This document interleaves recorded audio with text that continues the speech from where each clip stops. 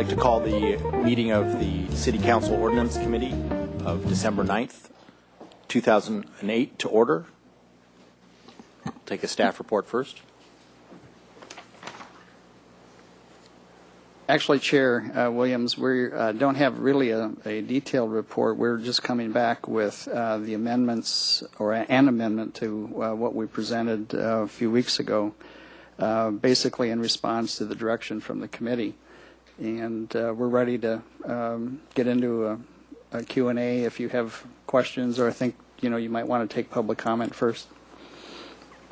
Well, tr- traditionally, we'll take questions from the committee members first and then public comment. And Okay. so please, uh, for members of the public that are here, please uh, fill out one of these white speaker slips and hand it to the gentleman in yellow. Any questions from committee members? Committee member Francisco. Thank you. Don, just for the benefit of people who are watching and who may not have seen the report, could you please summarize the changes between this version of the ordinance and the previous? The um, the major change is um, an, uh, a section or an additional language that actually is more specific as to where we would be permitted um, under certain circumstances to actually post no parking, no RV parking signs. And what we uh, listed there were uh, 10 um, what we have called uh, more sensitive land uses uh, where we have uh, in the past experienced um, some problems, uh, but where we anticipate uh, where we might be seeing problems in the future. And the, the land uses were basically in response to the conversation or the comments made by the committee members. The primary one being we should be sensitive uh, um, to land uses where kids, um, children, families, uh, congregate, go to for services, for school, uh, uh, and that sort of thing. So, um, and I think at first blush, uh, people might think that well, we're we're just going to go out there and automatically just post signs in all of these places around every one of of these land uses throughout the city. That's not the intent. The intent is uh, to um, post the signage when we actually experience um, the problems, and the problems being uh, more related to the um, the number of RVs that might be uh, congregated in any particular location, like we have seen in the two areas um, that we're concerned about right now. Um, criminal activity, complaints from neighbors, that kind of thing. So it's where it surfaces as a as an issue, as a problem. That's when we would be engaged in looking at um, uh, installing the signage. One other question. The ordinance would, would be enforceable in the areas outlined regardless of whether there's signage or not. Is that right? Steve, do you want to? Councilmember Francisco, no, the, the vehicle code, uh, the term it uses is adequate notice uh, in the form of signs. The, the general authority under the vehicle code is Vehicle Code Section 22507, and it uses the term that the, these sorts of restrictions, these limited restrictions, particularly ones targeted at certain vehicles, uh, require the posting of adequate note, uh, signs with providing adequate notice. So for each block face, and, and I, we've had some discussion about uh, how we would do this. There's, there's never any intent on staff's part, anyone's part, to oversign the city. That's, that's a continuing concern of sign pollution.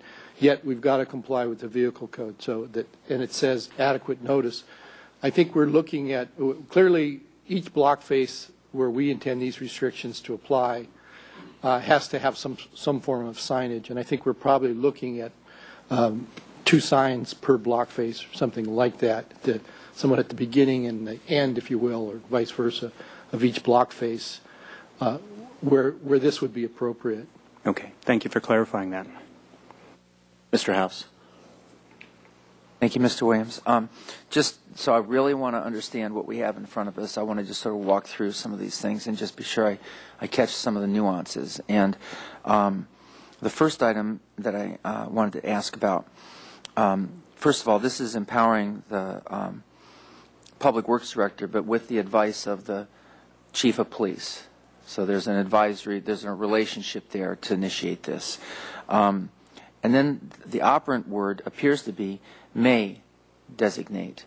So there's a discretionary moment there where, on the advice of the police chief, the public works director has the discretion to designate a street or a portion of a street, including specific block faces. So I want to just, first of all, confirm that there's that that discretion. It's not a mandate to designate all streets that are within 500 feet of these facilities.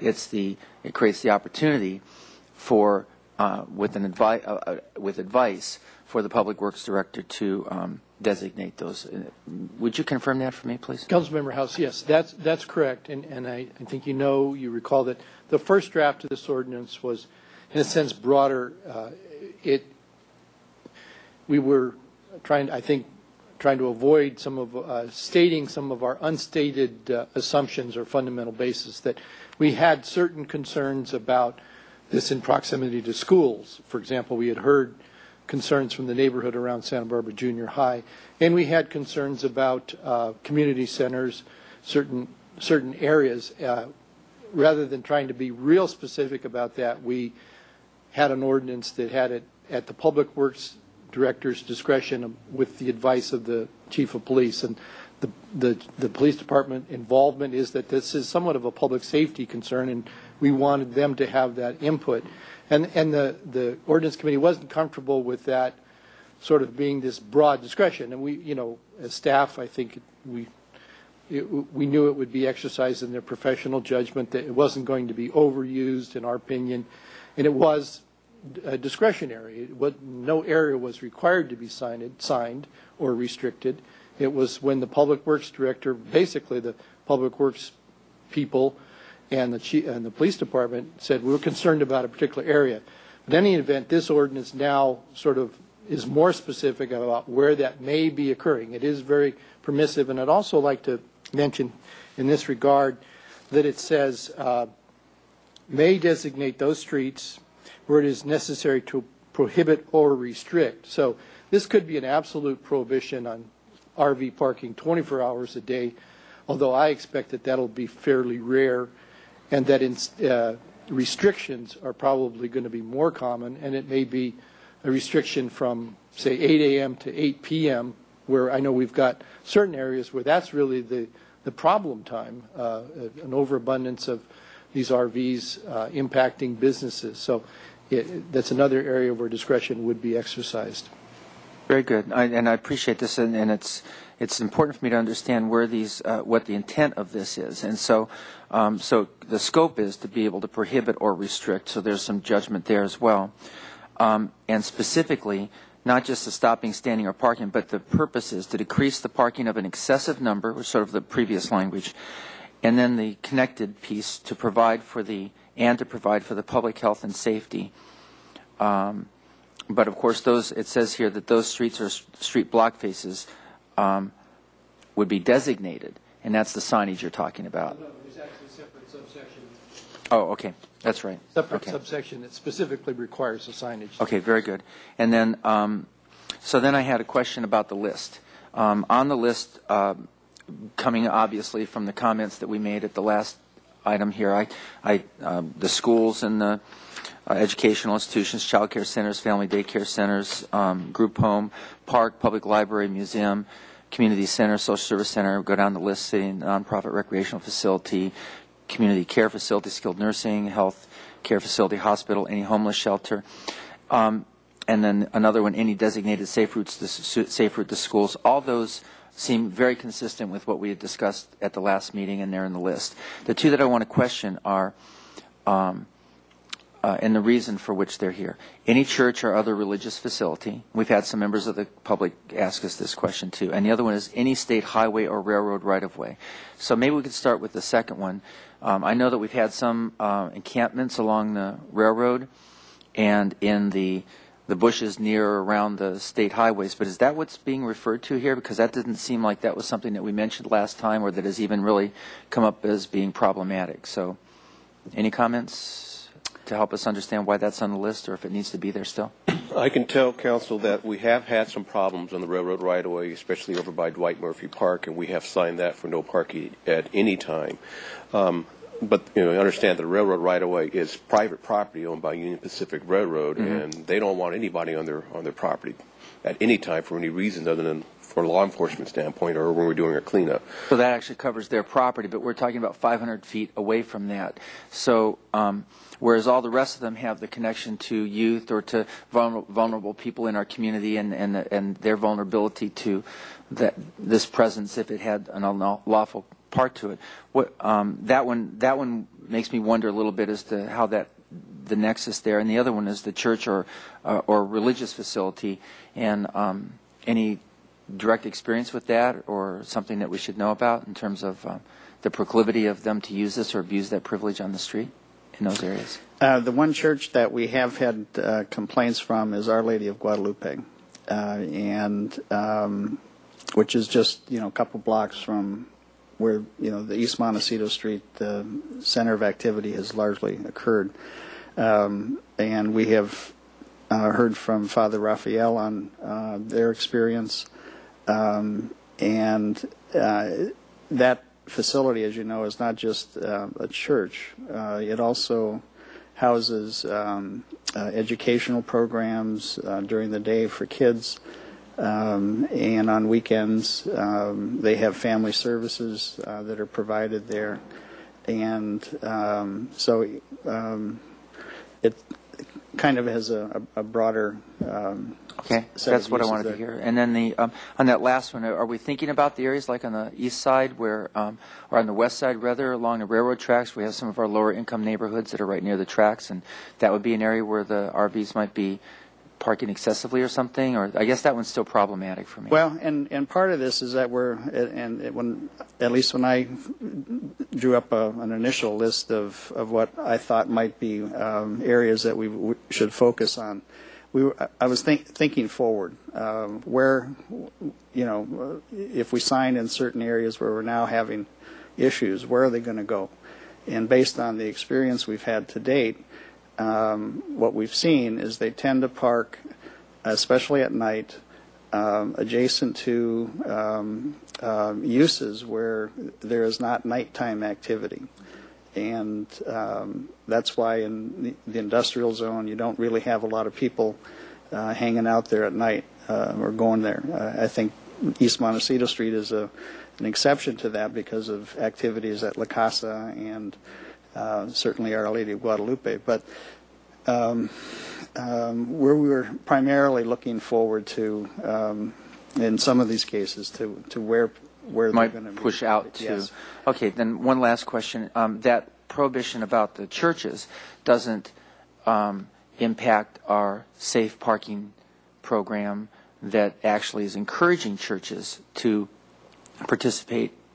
Uh, Correct. Correct. Right. Because it seems like it, if it did, that would really harm our ability to appropriately get them off the street and on, into a parking lot or a place where it could be well managed. That's right. Uh, That, that ordinance provision, uh, it's in the zoning ordinance. Uh, It would not be affected by this. Um, Through the New Beginnings, uh, um, people could be parking in a church parking lot uh, as allowed uh, through that program and through the zoning ordinance. In fact, encouraged if they would make the Right. appropriate arrangements and manage it Right. well. Yeah, Just to be clear, this is on-street parking restrictions versus anything else we might be doing, whether it be in a city parking lot that we have in the program or the churches and nonprofit locations. Okay, So we're thank only you. restricting on-street parking with this ordinance. Okay, Mr. Chair, thank you very much. Those are my questions. Follow up to Mr. House's question on Our Lady of Guadalupe. That, as a recreational uses, wouldn't that not qualify under the provision five, any city or nonprofit recreational facility? Uh, Yeah. Church is a nonprofit. Yes, I could, I think it would also qualify under number four. Uh, And, and um, although it's not a school per se, um, there are educational activities that also take place at Our Lady of Guadalupe. Uh, So I'm not, I I think the capitalized terms that uh, the city attorney has included in the list uh, are intended to refer to actual defined land uses uh, in the zoning ordinance when they're capitalized. So um, they are, they may or may not qualify under uh, some of these, but I think under um, number four um, and number five, uh, Our Lady of Guadalupe uh, could well qualify. And it's staff's intention um, to immediately uh, deal with two areas that have particularly been problem areas. One is near the junior high, and the other is um, a- the lion's share of uh, East Montecito Street between west of Milpas and uh, a section of Calle Cesar Chavez. And we would, from day one, deal with that area as soon as this ordinance is passed and 30 days expire. Yes. Uh, And with the junior high, I would include the armory, uh, areas around the uh, Boys and Girls Club, uh, and even a portion of the high school, where we're, where we're now seeing uh, RVs parking. So it's, it's more than just the junior high. It's, it's the armory and portion of the senior high school campus. Would we, one of my concerns I have is that um, I, I was one of the, the ordinance committee members who felt strongly that we needed to constrain this, but I also feel like there is a remedy to there there is a, the urgent need for a remedy um, for the areas that are particularly affected, uh, and I have a little bit of a concern also with how long that will then take if we send this to council and council can't hear it till January, and then we have 30 days after that that it will take effect. Um, I believe people have been patient with us, and I really appreciate that. Um, could we recommend to council to do this as an urgency measure, um, given that there is a public safety concern? Um, I think believe that would qualify as an urgency measure um, when any any time health uh, and public welfare is affected, um, and we could recommend it both as an urgency and as a non-urgency measure um, in case there weren't enough votes to pass it as an urgency measure. Uh, Chair Williams, look, uh, looking into that, and, uh, based on our discussion this morning, um, unless there are specific uh, noticing requirements that might be involved, um, and I'm not sure, Steve, if, if there are, um, I think if, if, if the, the ordinance before you, uh, based on your action, does not require any significant changes, um, I think we might be able to actually get this on the agenda for introduction next week and adoption by the 23rd. Uh, The only question I had was on uh, noticing, Uh, but then the effective date would be uh, January 21st, I believe, um, about 30 days from the 23rd. Um, Otherwise, um, you know, we could try for the 23rd for introduction and then adoption January 13th, but that would put off the effective date into to February. So I don't think you would have to uh, uh, classify it as an urgency matter. Uh, um, You know, um, I think we could do it if, if we move forward today. Okay. Mr. Chair, I just wanted to agree with Mr. Olson about that timing. I I think we could do that. Um, th- There's no special noticing required for an urgency ordinance that I know of, or an emergency ordinance. There is a need for findings, and I believe an increased uh, vote requirement. Uh, And, and I'm, It's to a, be I honest with believe you, a four four fifths or or or I think it's just a two-thirds. supermajority Yeah. of two-thirds, yeah. Um, In my experience with the city, we have very, been very reluctant to do emergency ordinances. It, you know, it's the sort of thing where it should be fairly deliberate. And so I'm I'm hesitate, I hesitate to recommend that here. Also, I, I believe it's going to take us some time before we can get signs up, and we can't do anything until we get signs up. So that 30-day period uh, before the ordinance is effective is going to be needed either way. Uh, Also, I, I think it was our intention, at least it was mine, to recommend to the police department that we start issuing warnings, and that we have a short period, like 30 days, of warning people that this is coming. So, um, as I say, I I agree with Don, though, that we could conceivably get this introduced next Tuesday. And then my last question would be if, um, in looking at some of the ones that Mr. House had a concern about and that I have, um, it seems to me if it's our intention, if it's it's our interest to um, designate the majority of East Montecito west of Milpas as no RV parking, and the section of um, Calle Cesar Chavez um, that is north of the freeway, or, or at least north of the mm, parking entrance to those facilities um, all of those areas could be accomplished even if we took out um, subsections 7, 8, and 10. Does that make sense? That's correct. Okay. All right. Mr. Chair, I, I, um, on, on eight, the church, it, you know, this, even though it's only a parking restriction, is, is what lawyers would call a penal statute. It, it, it has to be fairly clear that it's telling people that they can't do something. Actually, subsection C is intended to, to, to accomplish that. The penal language, when signed or marked in accordance with state vehicle code requirements, no person shall.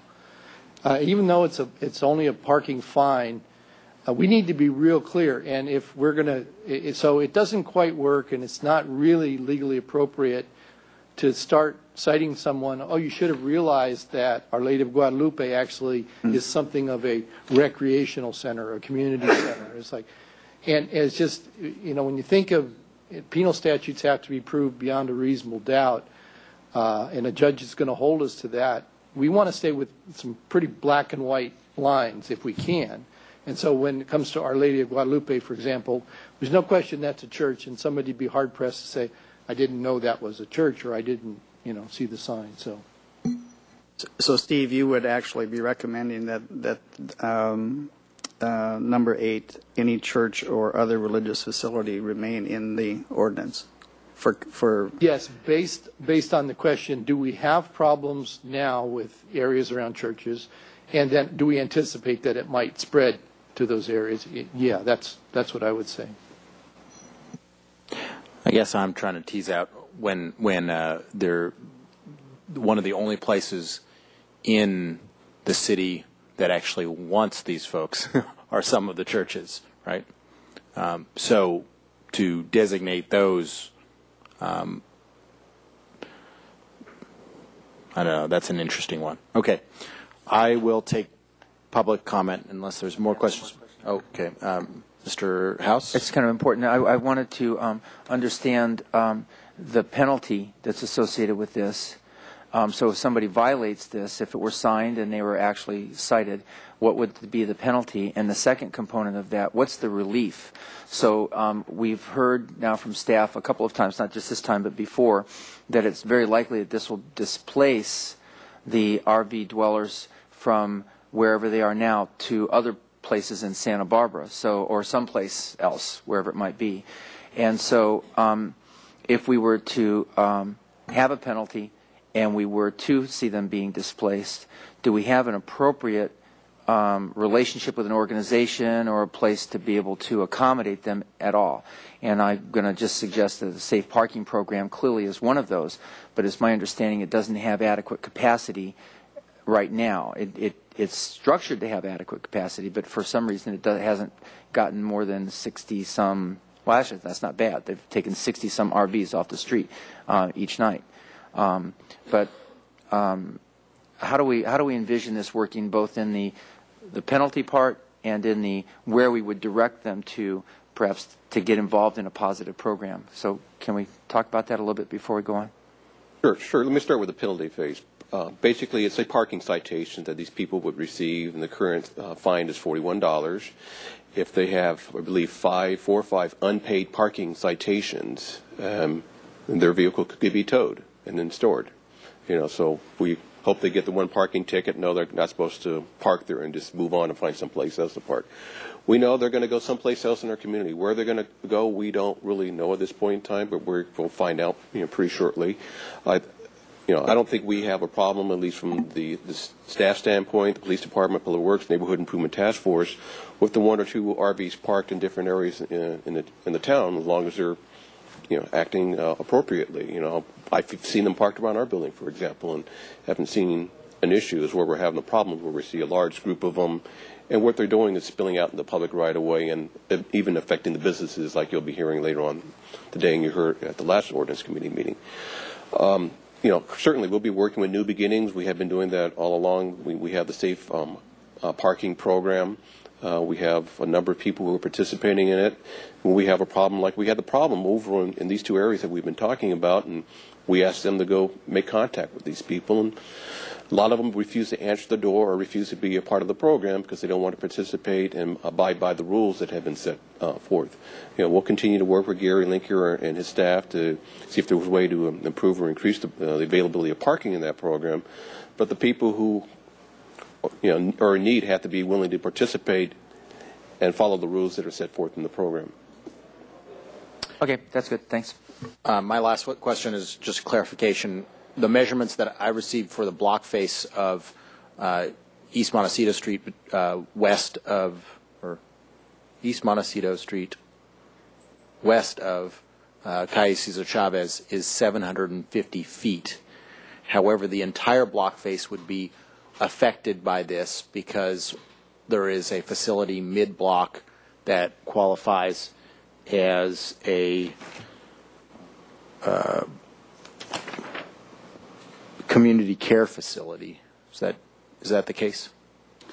Uh, Yes, there are actually, in that neighborhood, uh, four or five uh, sensitive land uses that uh, would um, extend the area that would theoretically be covered by signage.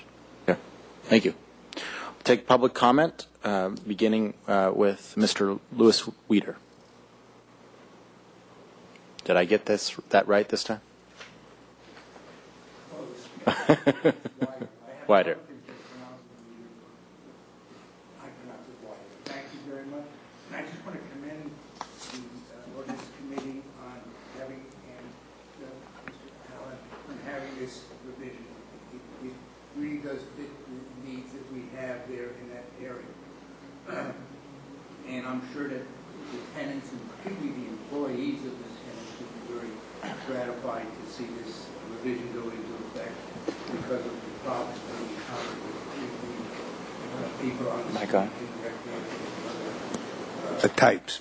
Um, As you just mentioned, this will also cover Olive Street because there are five uses. I have two uses right in my property. One of my tenants is the State of California Department of Rehabilitation.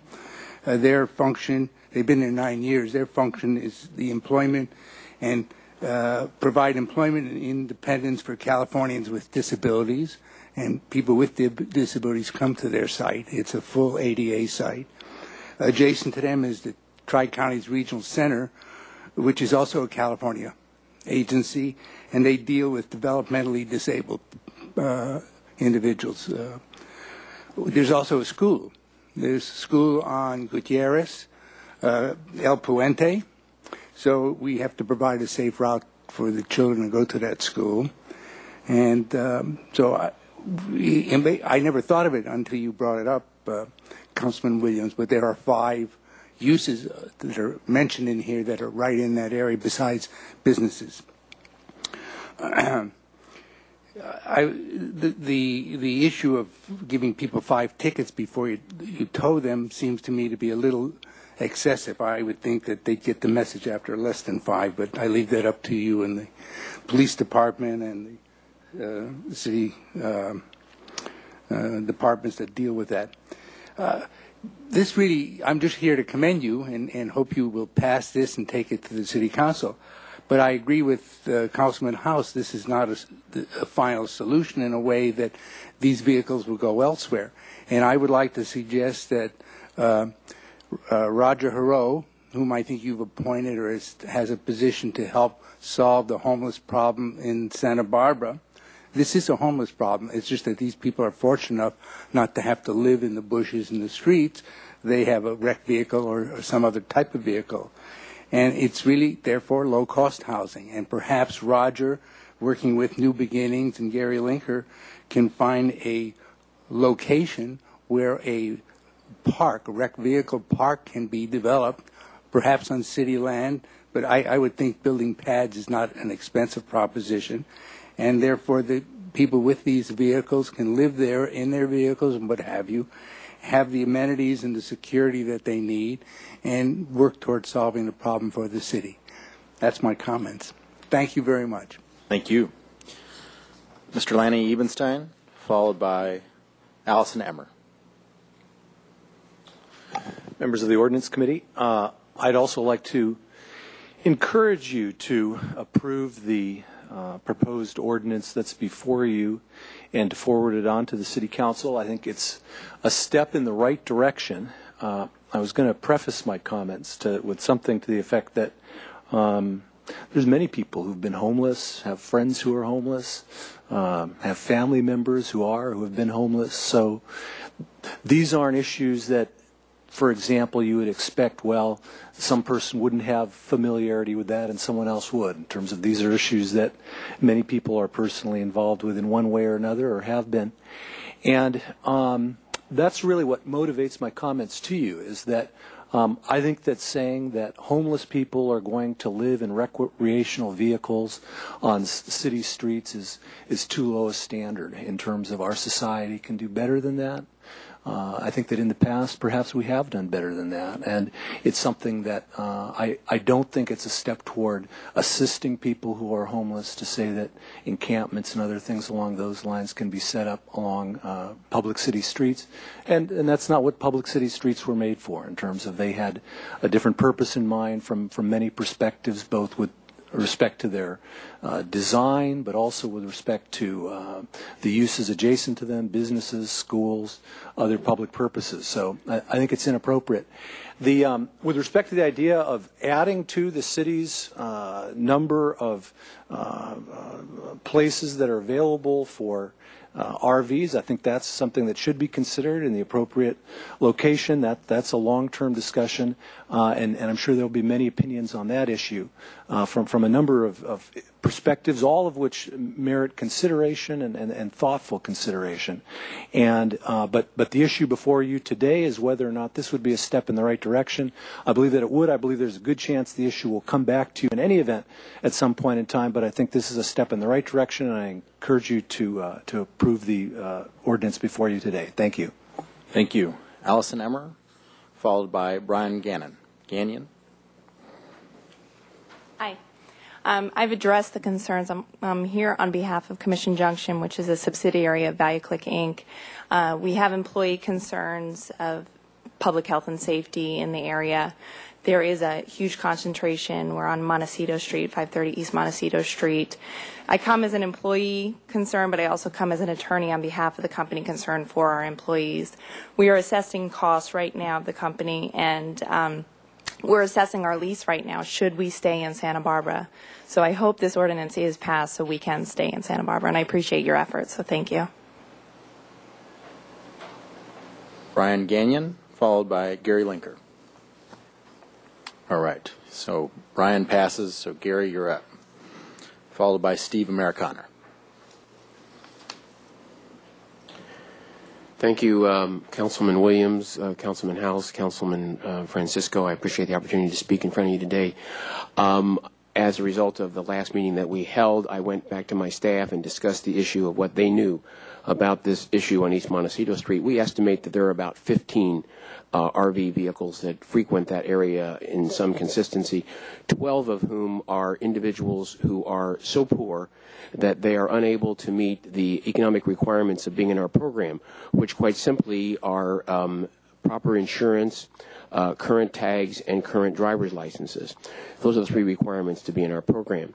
Um, it is true that we are at capacity and have a waiting list. Uh, we've uh, worked really hard since our last meeting, and we've opened up eight additional spaces um, six um, at the United Way, uh, two at Trinity uh, Church on State Street. They should be commended for their involvement in our program. We have other leads as well. We're working on um, other agencies that may step up and work with us. But it is true we um, are at capacity.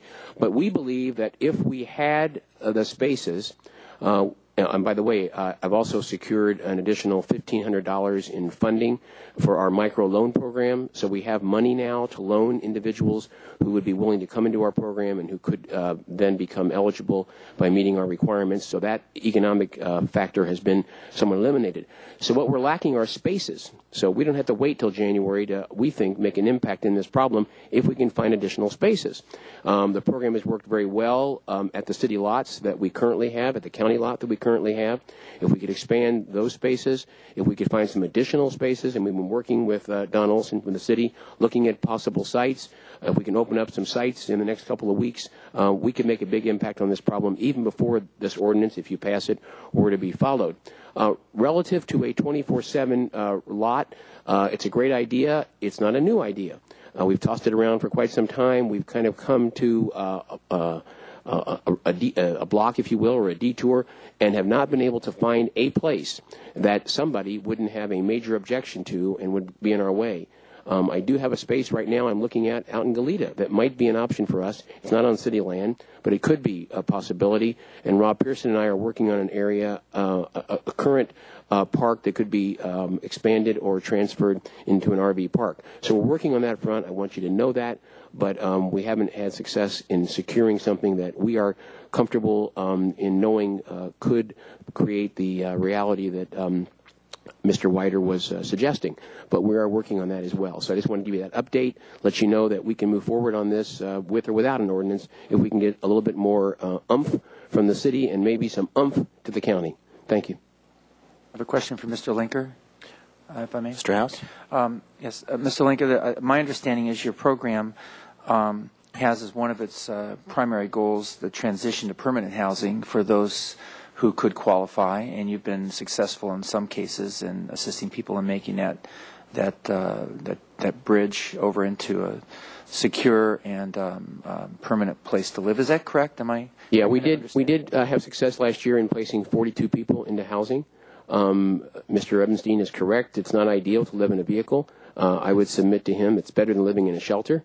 Um, and so, uh, for some people, it has become um, for them a viable way of, of living. Uh, we can't dictate to people how they have to live their lives. On the other hand, if they're causing a problem and a disturbance in our community, that's a problem. So, yes, we like to um, encourage our people uh, living in vehicles to consider uh, permanent housing. We assist them in Section 8 applications. We have an excellent relationship with the Housing Authority in getting them um, on the list and, and getting them uh, evaluated. Uh, and we have been able to uh, house people, and that is the eventual goal of our program. Well, you're also providing um, access to services for those who would otherwise not have it. And um, so I commend you for that and for adding the supply that you've done so far. I just wanted to ask you it seems like the key to the success so far has been really good and tight management. Um, in terms of holding them to account for the rules of the program and also for getting their vehicles up to code and um, and when we look at the possibility of a, a of a um, a location off street that might be like an RV park or something like that, it seems that management, really good management, would be a key to its success as well. Um, there's a place where we used to have um, a, a, um, a mobile home park that got really derelict and has been pretty much scoured to the ground, and the pads are still there next to the freeway over on Punta Gorda, I think. And I don't know if that's been explored, but cle- clearly, even if that were to be considered, it would have to be under really rigorous and excellent management um, to to make sure it wasn't a problem for the neighbors. And um, are you is your organization prepared to continue or to do that kind of a management and ongoing work with the people that would be involved in, in either on street or off street? There are, fortunately, people interested in our community who do have some resources who would be willing to assist us, along with the city, in creating such a structure uh, program. And were we to have 30 or 40 spaces or lots or whatever available to people, we would commit staff to uh, oversee that program uh, on an ongoing basis. So, yes, we're willing to take that next step and make that happen. Thank you, Dr. Linker. And Dr. Linker, one other th- thing, because it's, I, I think it was an important one, to, to Lanny's point, that, that we don't want this to sort of be a permanent situation. How, can you numerically let us know how many people you've placed in housing through your program? Uh, last year, we placed 42. Um, Pretty good and uh, an additional, uh, I think, 12 or so were uh, uh, gainfully employed through our efforts. So we have our two outreach workers who work on both those fronts to provide those kind of services. Thank you, Mr. Langer. Steve Amerikaner, followed by Bob Flowers. Chair Williams, members of the committee, my name is Steve Amerikaner. I'm with the Brownstein Hyatt Law Firm, and I'm here today representing the uh, Santa Barbara Business Center. which has a number of the tenants that uh, you have heard from and will hear from uh, in the room today. Uh, we have nine tenants altogether, and I think you heard from a number of them at your last meeting as well. Uh, we also commend the uh, staff and the ordinance committee for moving forward with this ordinance. We think that this is a good first step. It is, uh, by as reflected in the comments that you've all made, not a solution. There, there are there's a broader program or suite of programs that's going to be needed to actually solve the problem. Uh, but with respect to the immediate issue of uh, people feeling safe on the streets, of businesses feeling that they are uh, in the right place and in the right community, this we think is a good response. Uh, we're also encouraged by your thoughts of moving quickly with it and bringing it to the City Council next week and adopting it immediately. Uh, we think that the 30-day waiting period can be profitably used, as your city attorney has suggested, in, in manufacturing and putting up the signs and giving people warnings and starting the actual ticketing at the end of 30 days. Uh, we think the posting of signs and the active, uh, the activity in the neighborhood will already begin to uh, address the problem, and people will begin to look for other other places to go. Uh, so we encourage you to do that. We think that's a very good solution. So, so thank you for your support. Uh, it's very important to the health, the economic health of our community, uh, as well as our uh, efforts to deal compassionately with this problem. Thank you. So the last speaker will be Bob Flowers. Mr. Flowers? Councilman Williams, uh, Councilman House, Councilman Francisco. I just like also to commend the committee. I think this is, uh, I'm a, our firm is a tenant in the same area, and we've been affected. I've called the police a number of times and talked to a couple of council persons, and I, I believe this is a very good first step. Appreciate the effort you put into it, support it entirely, and I also agree that the problem, you know, isn't going to go away. We have to continue to work. Uh, to solve it, to help these people, but to get them in a place that's not on a public street. Uh, we have employees that have witnessed, I don't even want to go into the details, of people, you know, the results of people living without sanitary facilities, concerns uh, at night. Uh, are some are people leaving late and wondering what would go on. Also, there's, there's just the fact that you have poor visibility, traffic hazards. It's, it's, you're doing a good thing. Uh, I appreciate the effort and would lend support to, to further efforts uh, around the community to see what we can do to to solve the problem, help these people, and I appreciate those that are in the city here that have spoken and are really doing that. So thank you again for your for your efforts. Thank you, Mr. Flowers. And it's to the committee. Anybody want to start us off, or uh, Mr. House? Uh, Yes, um, I, I think that this is uh, an improvement over what we had before us before. Um, uh, I will um, ask that, uh, I mean, if I'm the one that makes the motion, I'll, I'll do it, or if somebody else does, um, that we also add to our motion a, uh, uh, a recommendation to the City Council to um, uh, do what we can to expand the supply of RV parking spaces that are available in the safe parking program or uh, some other well-managed program. Uh, that that that's a that there's a complementary component here. I'm not saying that it's uh, tied to the actual implementation of the ordinance. We don't want to hold that up. On the other hand, there may be things the city can do or to encourage that would um, that would help us not just bulge the issue, the problem out to somebody else's neighborhood. It's likely, very likely, that displacement will happen within our South Coast area, um, quite likely within the city of Santa Barbara. And then we would hear from another neighborhood, and maybe one that's not covered by this list of uh, nine or ten uh, requirements. Um, so I believe that the success of this is that it's the complementary piece, it's the enforcement piece, of a, a program that has also a, uh, an opportunity for those who want to be responsible and step up, even with the loans, to assist them to uh, movement towards permanent housing. And those things go hand in glove. So um, that's something I'll be looking forward to out of our, our discussion today. But I really want to thank staff for being responsive to our concerns from the last uh, meeting. Maybe there's more to go, but I, I really thank you very much for that. Mr. Francisco. Thank you, Mr. Chairman. Uh, I would have no objection to adding a recommendation along with this uh, ordinance that the full council consider ways in which we could expand the safe parking problem. That's that's fine. Um, a fundamental problem here that we're trying to solve with this ordinance, and that, as everyone said, we, we won't solve completely today. The fundamental problem is it, it is illegal to live in the public right of way. Uh, but that's a law that, for various reasons, including certain court rulings, we've been um, unable to enforce very effectively.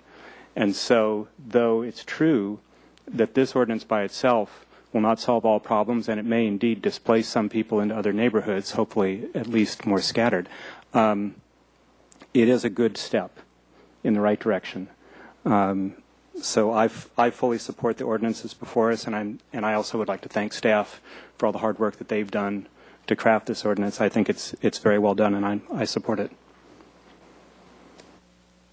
I uh, do want to bring up the details that were talked up before, and I also want to um, specifically address the idea that um, uh, such a large employer in Santa Barbara um, as Commission Junction would be considering mm, moving on. Um, I'd like to add, add a recommendation to council that we do a check-in um, with staff after three months to see how effective um, this has been, um, because I think that would be appropriate um, uh, to see if we are taking a strong enough um, uh, measures.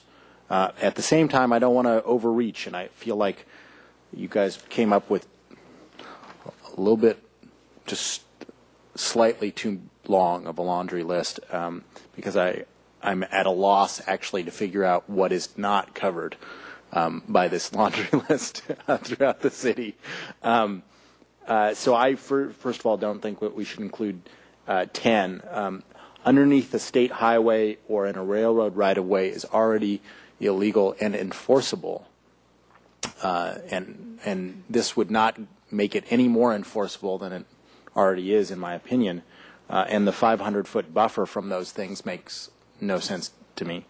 Um, uh, the same thing goes, in my mind, for seven, a homeless shelter, uh, and eight. Uh, I believe that what we should do is um, uh, issue those warnings, um, treat Our Lady of Guadalupe as a recreational facility, which it is, and make sure that the people parking in the area know that it's a recreational facility so that if it's challenged, that we can survive challenge. Um, I believe that if we do do a check-in after three months and, and the 500 foot is not big enough, or if the laundry list is something that we're missing, that we'll be able to address that in, in three months. I just think that sometimes we think that if we include everything, that that'll cover everything and they'll just go away. These folks aren't going to go away.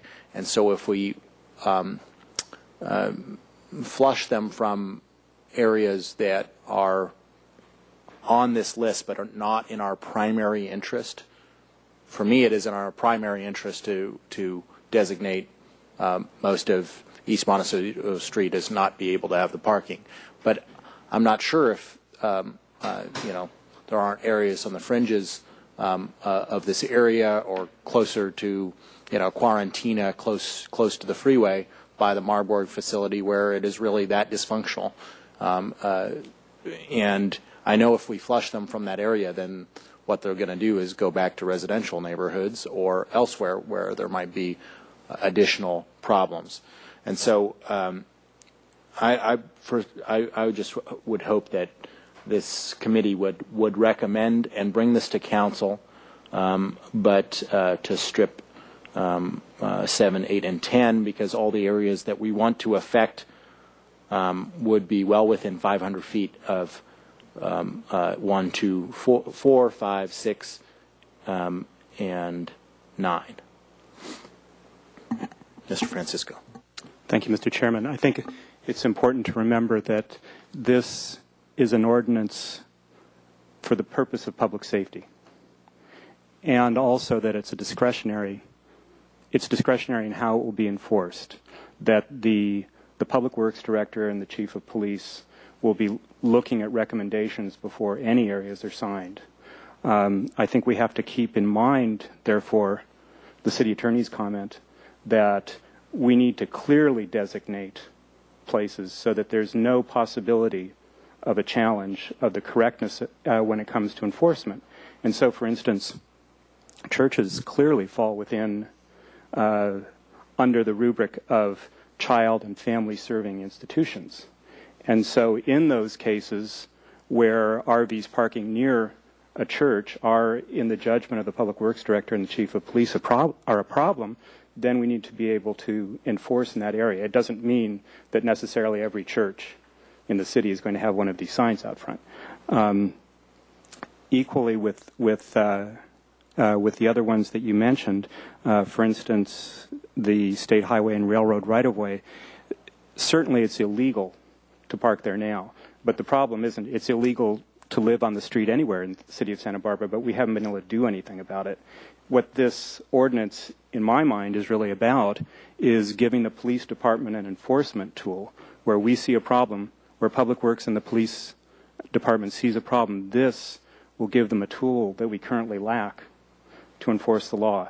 So I just want to keep in mind that this, two very important things. This is this is an ordinance that will be used with discretion. It does not automatically mean that every place that falls on this list is going to be signed. What it means is when a specific place that is in this list is a is a, a site of problems, a site of concern, then we have the tool to enforce the law there. So I would personally highly recommend that we keep everything that's currently on here uh, and see how things go. If it turns out to be a problem, we look at it later. And I think your suggestion of staff looking at this, doing a survey, coming back three months later, telling us how it's working is an excellent one. Um, but I would move that we follow a staff recommendation and forward this ordinance to the full council.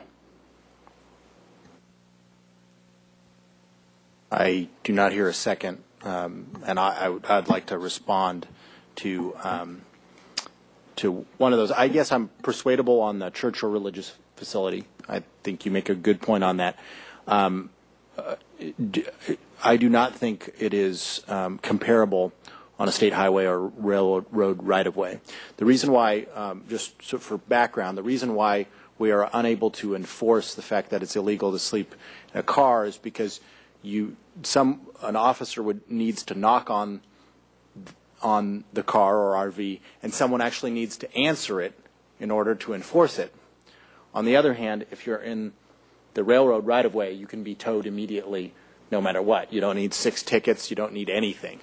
Um, so there's a large difference between that. And I, I to me, to put that to to put that in there is at um, best duplicative and at worst overstretching because what it does do is it also affects some of the only, and I, I believe that there's actually very little of the city where um, this does not create a problem, but it actually does exclude the few places where it doesn't create a problem.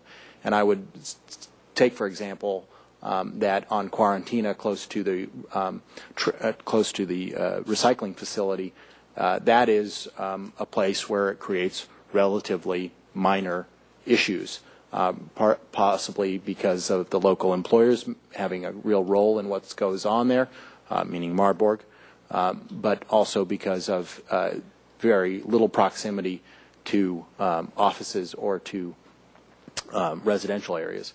So um, I'm I'm insistent uh, that I'm not going to vote for anything that doesn't strip 10 out, and I would argue um, uh, seven uh, as well because of the proximity, the unintended consequences of 500 feet being stretching into the, those few areas that um, this is relatively functional. Um, well, I'll just try. I'll just try a motion then. I'll. Oh, sorry, Mr. House. Thought I'd try here. Um, so let's just focus in, in on uh, a motion that uh, that leaves 10 off the table for now.